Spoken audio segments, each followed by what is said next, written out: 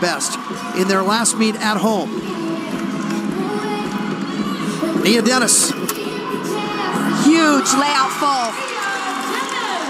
Dennis is a, a top 25 vaulter this year, has a victory, and four straight have gone 985. This one's going to be in that neighborhood. Yeah, she can do a one and a half, but look how much height she gets off the table.